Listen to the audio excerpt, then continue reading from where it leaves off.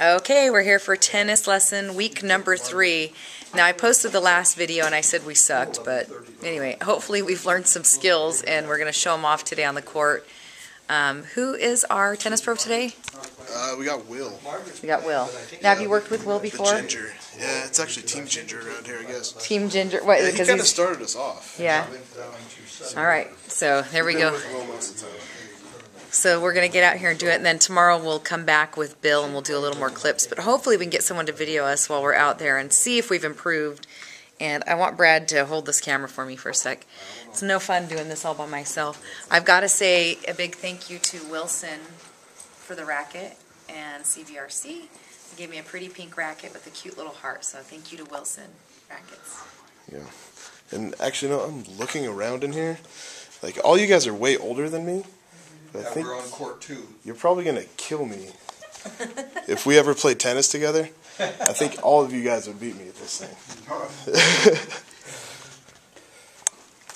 Yeah, tennis really doesn't have to be a young man's sport, apparently. Any age plays, so. All right, let's see how we do today. All right, so Will is training us today. What I thought your name was Matt. ginger Matt, gingerbread is what we've been calling you. Okay, so tell us what the purpose is of those big foam balls over there. The big balls that you see in front of you, um, they're a high density foam ball and they bounce about half to a third as much as a regular ball would. Okay. They're also a little bit larger. So because of that, they're easier to hit. Um, it's much easier to use this as a training tool than one of these guys. Okay. Cool. All right. So you mean I'm actually going to look like I know what I'm doing today? We'll pretend it. All right.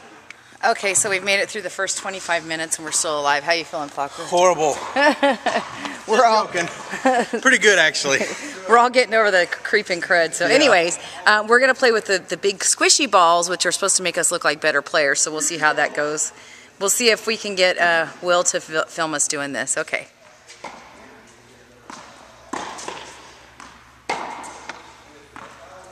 All right, here we go. Fokker and Brad. Let's see it.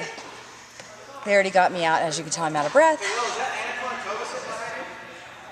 Will's got Anna Kournikova hanging out, waiting to have a beer with him afterwards. Woo! All right, here we go. The Brad. Serve it. Here comes Fokker. Nice.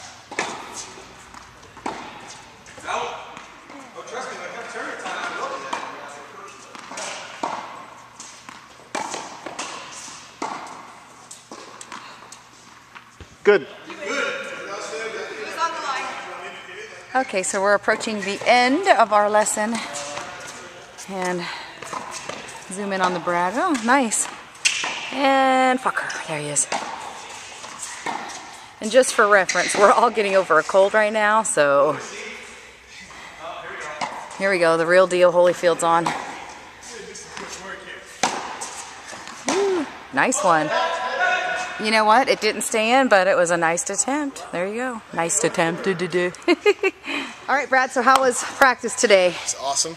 Will's the man. I'm like still out of breath. Yeah. Kind of running around, but I don't know. It's fun. Fokker? Actually, we're getting Need a pretty beer. Where's my Gatorade? My Will Gatorade. H2O. All right, what I have to say is I learned a lot more about the game today. So again, like I, I said, if you're going to take this sport up, definitely get uh, lessons. There you go. Get lessons. Well. Okay, bye. Peace out. I'm filming these guys. These guys are awesome. See, I'm gonna be playing this when I'm like old like that too. That'll be the easy part. Stand there and